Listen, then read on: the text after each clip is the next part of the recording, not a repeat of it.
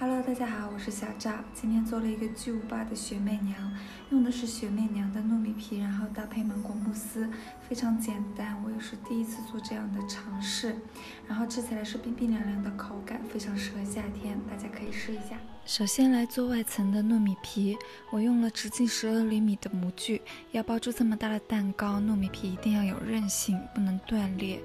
碗内加入一百二十五克糯米粉，三十克玉米淀粉，四十克白糖。这个甜度的话，单独吃糯米皮也很好吃。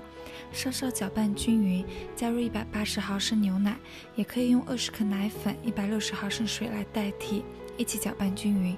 然后过滤液体，盖上保鲜膜，大火蒸二十分钟，或者微波炉高火叮三分钟，一定要糯米糊的表面白色部分消失为止。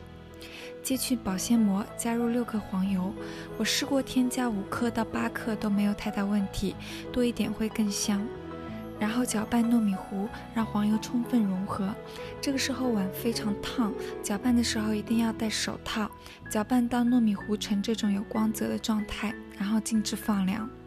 然后我们来做慕斯，芒果去壳称重三百克，搅打成泥，加入五毫升柠檬汁，小锅内加入六十毫升牛奶，二十克白糖，隔水软化的十二克吉利丁片，小火加热奶液，沸腾前关火，过滤后加入到芒果泥中，搅拌至顺滑状态，稍稍放凉。两百毫升淡奶油，加入二十克白糖，高速打发至六分发，加入刚刚搅拌好的芒果泥，一起搅拌均匀，慕斯液就做好了。等到糯米糊凉，需要比较长的时间，可以先来炒熟粉。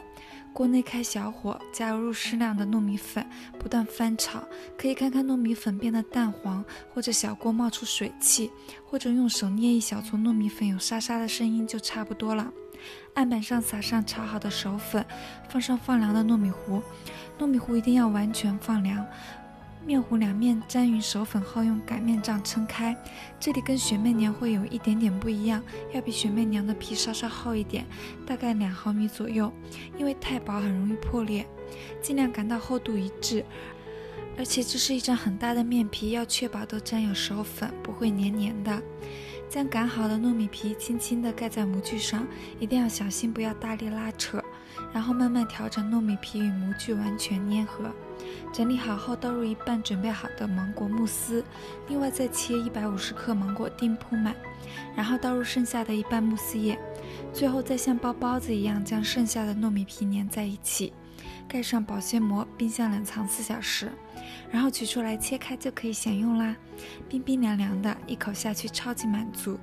这个甜度还不错，大家不需要做大的调整。然后我想了半天也不知道这个蛋糕叫什么，就叫它芒果雪媚娘慕斯蛋糕吧。